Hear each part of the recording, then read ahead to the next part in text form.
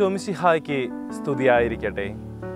ഏവർക്കും Carmel blaze വചന വിചിന്തനത്തിലേക്ക് ഹാർദവമായ സ്വാഗതം. മിശിഹായിൽ സ്നേഹമുള്ളവരെ വിശുദ്ധ മത്തായി അറിയിച്ച സുവിശേഷം അഞ്ചാം അധ്യായം പതിനേഴ് മുതൽ ഇരുപത്തിയാറ് വരെയുള്ള വാക്യങ്ങളിൽ രണ്ട് വചനഭാഗങ്ങളാണ് സുവിശേഷകൻ നമുക്ക് നൽകിയിരിക്കുന്നത്. ഒന്നാമതായി നിയമത്തിന്റെ പൂർത്തീകരണം രണ്ടാമതായി സഹോദരനുമായി രമ്യതപ്പെടുക. ആദ്യ ഭാഗമായ നിയമത്തിന്റെ പൂർത്തീകരണം. പതിനേഴ് മുതൽ ഇരുപത് വരെയുള്ള വാക്യങ്ങളിൽ നിയമവും പ്രവാചകന്മാരും എന്തെന്ന് സമർത്ഥിക്കുന്നു.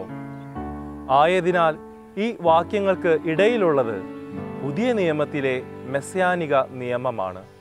നിയമം എന്നത് പഴയ നിയമത്തിലെ പഞ്ചഗ്രന്ഥങ്ങളെയും പ്രവാചകന്മാർ എന്നത് പഴയ നിയമത്തിലെ പ്രവാച പുസ്തകങ്ങളെയും സൂചിപ്പിക്കുന്നു. മത്തായി അറിയിച്ച സുവിശേഷം അഞ്ചാം അധ്യായം പതിനേഴാം വാക്യത്തിൽ നാം ഇപ്രകാരം വായിക്കുന്നുണ്ട്. നിയമത്തെയോ പ്രവാചകന്മാരെയോ അസാധുവാക്കാനല്ല ഞാൻ വന്നിരിക്കുന്നതെന്ന് നിങ്ങൾ വിചാരിക്കരുത്. അസാധുവാക്കാനല്ല പൂർത്തിയാക്കാനാണ് ഞാൻ വന്നത് എന്ന് വചനം വ്യക്തമാക്കുന്നു. പൂർത്തിയാക്കുക എന്നതിന് പ്ലെറോസെ എന്ന ഗ്രീക്ക് പദമാണ് മൂലഗ്രന്ഥത്തിൽ നൽകിയിരിക്കുക. പഴയ നിയമം ദൈവനിവേശിതമാണ്. പഴയ നിയമത്തിൽ പറ്റിപ്പിടിച്ച പൊടി തട്ടിക്കളഞ്ഞ് ശുദ്ധിയാക്കി കൂടുതൽ മെച്ചപ്പെട്ട രീതിയിൽ പൂർണതയിലേക്ക് പഴയ നിയമത്തെ ഈശോ നയിക്കുന്നു. പ്രമാണങ്ങൾ അനുസരിക്കുകയും പഠിപ്പിക്കുകയും ചെയ്യുന്നവൻ സ്വർഗരാജ്യത്തിൽ വലിയവൻ എന്ന് വിളിക്കപ്പെടുമെന്ന് മത്തായ സുശേഷം അഞ്ചാം അധ്യായം പത്തൊമ്പതാം വാക്യത്തിൽ നാം വായിച്ചു കേട്ടു. ഫരിസയർ പഠിപ്പിച്ചിരുന്നു എന്നാൽ അനുസരിച്ചിരുന്നില്ല. ക്രിസ്തു ശിഷ്യൻ ആദ്യം അനുസരിക്കുകയും പിന്നെ പഠിപ്പിക്കുകയും വേണം. ക്രിസ്തുവിലുള്ള നമ്മുടെ വിശ്വാസമാണ് ഈ പുതിയ നിയമത്തിന്റെ സവിശേഷത പുതിയ നീതീകരണത്തിന്റെ സവിശേഷത. മത്തായി അറിയിച്ച സുവിശേഷം ഇരുപത്തിരണ്ടാം അധ്യായം മുപ്പത്തിയേഴ് മുതൽ നാൽപ്പത് വരെ വാക്യങ്ങളിൽ ഈശോ നമുക്ക് സുപ്രധാനമായ ഒരു കൽപ്പന നൽകുന്നുണ്ട്. നീ നിന്റെ ദൈവമായ കർത്താവിനെ പൂർണ ഹൃദയത്തോടും പൂർണ മനസ്സോടും പൂർണ ആത്മാവോടും കൂടെ സ്നേഹിക്കുക. ഇതാണ് പ്രഥമവും പ്രധാനവുമായ കൽപ്പന. രണ്ടാമത്തെ കൽപ്പനയും ഇതിന് പ്രധാനം തന്നെ. അതായത് നിന്നെ പോലെ നിന്റെ അയൽക്കാരനെയും സ്നേഹിക്കുക. ഈ രണ്ട് കൽപ്പനകളിൽ നിയമവും പ്രവാചകന്മാരും അധിഷ്ഠിതമായിരിക്കുന്നു. റോമാക്കാർക്ക് എഴുതിയ ലേഖനം പതിമൂന്നാം അധ്യായം പത്താം വാക്യം നിയമത്തിന്റെ പൂർത്തീകരണം സ്നേഹമാണ് എന്ന് വിശുദ്ധ പൗലോസ്ലിഹ നമ്മെ ഓർമ്മപ്പെടുത്തുന്നു. ഈശോ നൽകിയ സ്നേഹത്തിന്റെ കൽപ്പനയുടെ പ്രായോഗിക തലമാണ് മത്തായുടെ സുശേഷം അഞ്ചാം അധ്യായം ഇരുപത്തിയൊന്ന് മുതൽ ഇരുപത്തിയാറ് വരെയുള്ള വാക്യങ്ങളിൽ നാം കാണുന്നത്. സഹോദരനുമായി രമ്യതപ്പെടുക.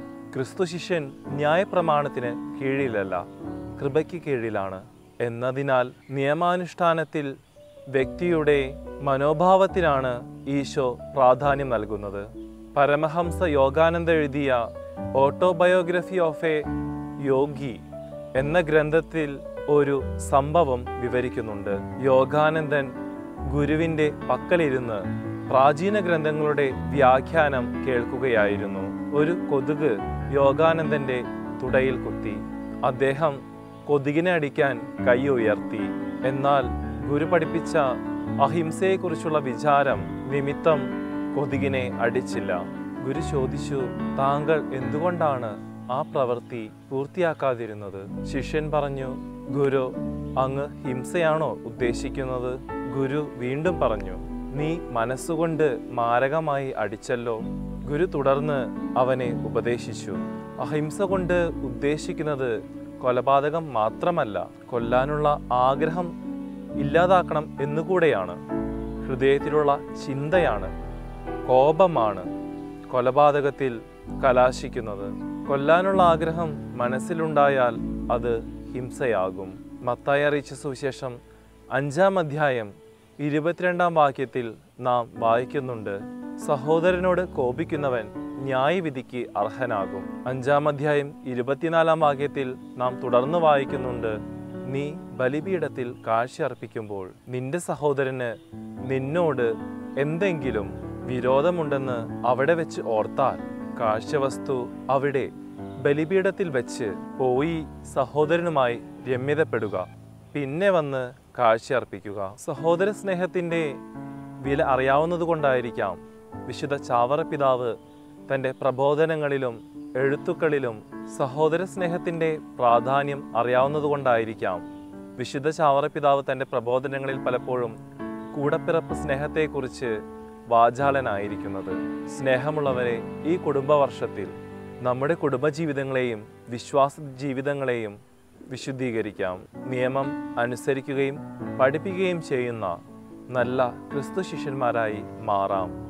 സഹോദരങ്ങളുമായി രമ്യപ്പെട്ട് വിചാരത്തിലും പ്രവൃത്തിയിലും വാക്കിലും നിയമപൂർത്തീകരണത്തിന്റെ സ്നേഹ കൽപ്പനയിൽ ഉറച്ചു നിന്നുകൊണ്ട് എല്ലാ സഹോദരങ്ങളെയും സ്നേഹിച്ച് ജീവിക്കാം.